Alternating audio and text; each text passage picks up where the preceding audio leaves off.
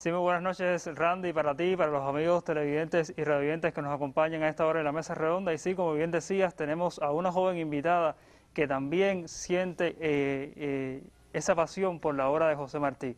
Nos acompaña esta noche Lil María Pich Hernández, quien es, digamos, la presidenta de la, de la Comisión de Relaciones Nacionales e Internacionales del Movimiento Juvenil Martiano. Muy buenas noches, Lil. Muy buenas noches, gracias por la invitación. Una de las cosas que siempre hemos hablado en la mesa redonda y cuando se habla también de la historia y por supuesto de este pensamiento martiano es cómo acercar a los jóvenes a Martí, cómo despertar esa pasión que tú sientes, te conozco hace muchísimos años, eh, y atraparlos. ¿Cómo es ese trabajo en el movimiento juvenil martiano? ¿Cómo se acercan a las nuevas tecnologías? Bueno, eh, primero creo que ese acercamiento de la figura de Martí a los jóvenes debe partir, digamos, de tres elementos fundamentales y que hemos tenido presentes de manera transversal a lo largo de estos más de 30 años de trabajo del movimiento juvenil martiano.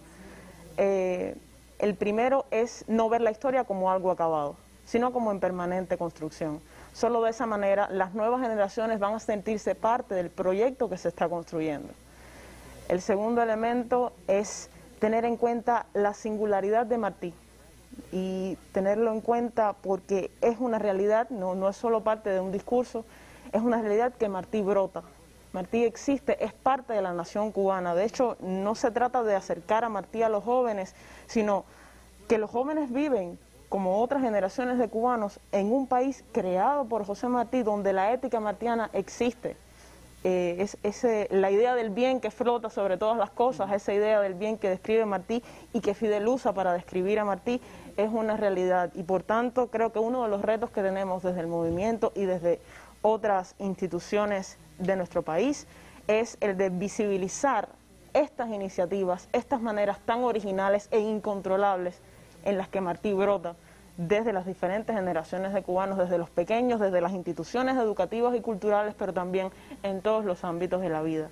Y un tercer elemento que siempre debemos tener eh, presentes y que tratamos de defender desde el movimiento juvenil martiano y de la familia de instituciones martianas, intergeneracionales todas, es que eh, la educación es un proceso fundamental de, de la cultura, de la formación de la cultura, no solo de la instrucción académica, sino de la formación, de la cultura política, de la formación ciudadana y que en el centro del proceso de educación está la figura de Martí y está la ética martiana. Teniendo estos elementos en cuenta es que se desarrollan las actividades del movimiento, desde el ámbito comunicativo, desde el ámbito de proyección social y desde el ámbito del pensamiento.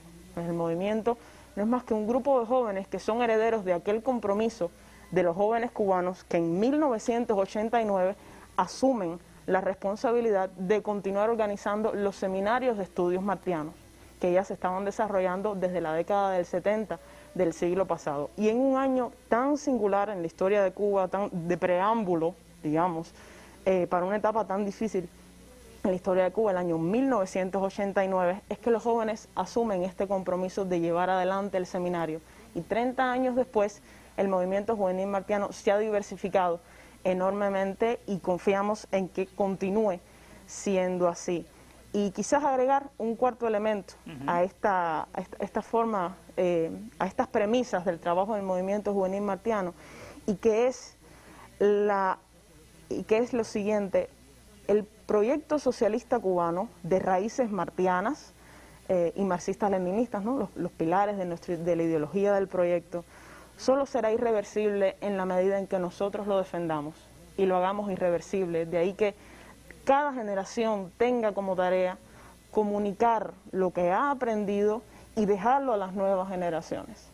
Eh, los profesores que han hablado acá son los profesores de mi generación y nosotros en algún momento, la generación nuestra se, se convertirá y se está convirtiendo entonces en los nuevos maestros y en, en las nuevas personas ¿no? que llevarán la ética martiana a las nuevas generaciones. Y mientras eh, defendamos este ciclo, podremos, tener, podremos hablar de revolución cubana.